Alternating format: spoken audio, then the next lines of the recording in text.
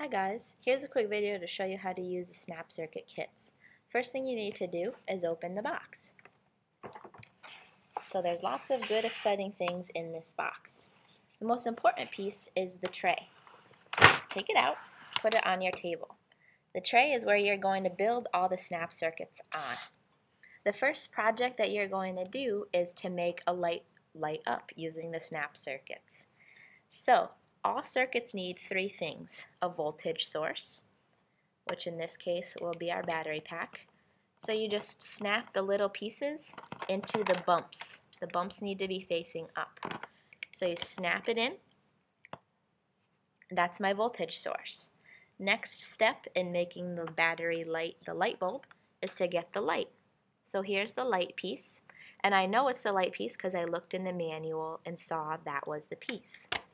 The front page in your manual looks like this. That's where I'm getting all this information from. So I have my voltage source, I have my object that's using the electricity. Now all I need are conductors. Remember conductors are usually wire, so I'm going to grab my two wires out of the kits. Then again, I'm going to just snap them. One here, one here, one here, one here.